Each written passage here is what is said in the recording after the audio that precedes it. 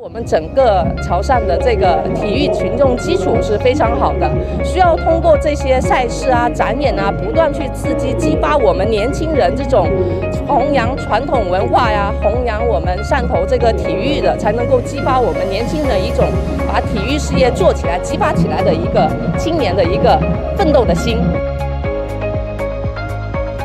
通过深化与咱们政府的合作，全力做好信贷支持和金融服务。为汕头经济高质量发展构建和谐社会贡献农行力量。